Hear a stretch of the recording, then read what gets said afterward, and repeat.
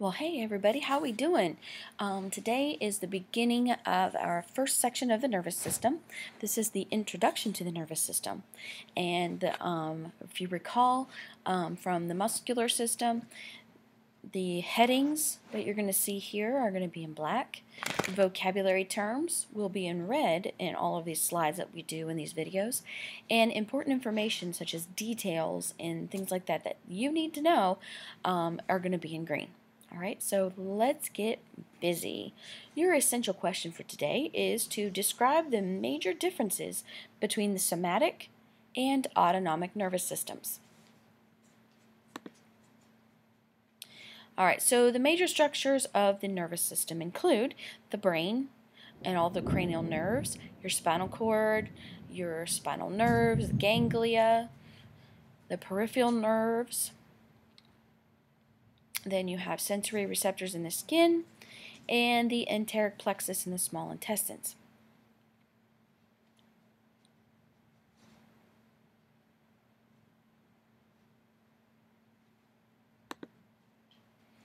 The divisions of the, the um, nervous system include the central nervous system, central because it's centrally located in the body.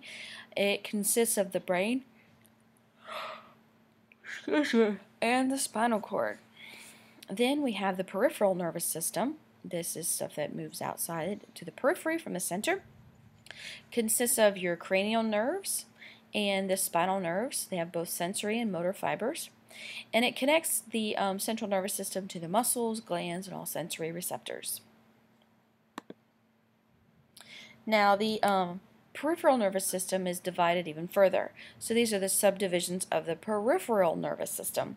You have the somatic nervous system, which is voluntary. This is something we have control over. This includes neurons from your skin, cutaneous, and special sensory receptors in the central nervous system. Also includes motor neurons to the skeletal muscle tissue. If you recall the last unit that we did over skeletal muscle, we discussed that skeletal muscle is voluntary and it is controlled by the somatic nervous system. Next, we have the autonomic or the involuntary nervous systems. There are a couple of different divisions for those. These include sensory neurons from the visceral organs to the central nervous system. These would be your internal organs. Um, your motor neurons to smooth and cardiac muscle and glands. And the first division that we see here is the sympathetic division. It speeds up your cardiac smooth muscles and glandular secretions. Your parasympathetic division slows down cardiac smooth muscle and glandular secretions. The enteric nervous system, the ENS, is the subdivision of the autonomic nervous system that controls your gastrointestinal tract in vertebrates. And then you are human, so you are a vertebrate. Um, your neurons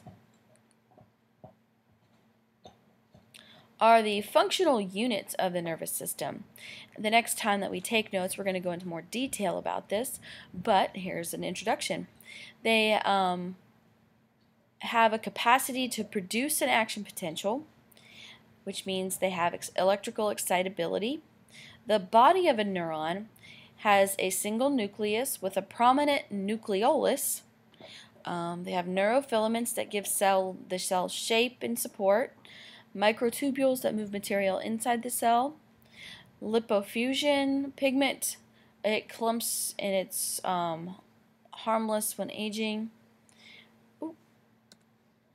And uh, the Nissl bodies, which are the chromatic substance, chromatophilic substance, which clumps of the rough endoplasmic reticulum are used to restore the peripheral nerve fibers. And the rough endoplasmic reticulum and free ribosomes are for protein synthesis in the neurons. And the processes, or the things that stick off of the neuron, are called, excuse me again, are called dendrites and axon, the axons. All right? So this is your introduction to the nervous system. Not a lot right now, but there will be more to come. Um, let's focus on understanding the major organization of the nervous system, of the central nervous system, peripheral nervous system, and all the subdivisions of the peripheral nervous system. All right, um, go ahead and work on your little activity, and we'll can we'll take some more notes later on. All right, have a good one.